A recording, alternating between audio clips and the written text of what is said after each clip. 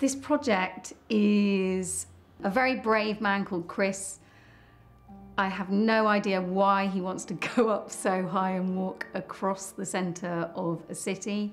I kind of always wanted to be that guy, that, that solitary, lone figure walking through the space, the gentleness of it. The idea around a high wire walk over the city centre has been in my mind for a little while and kind of came to be at the end of the launch event of last year's festival where I stood in the city centre for about two days.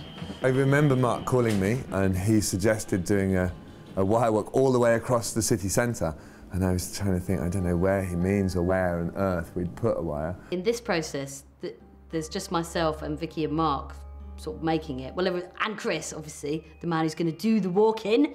What could go wrong? Chris falls. Sorry, but that is, yeah,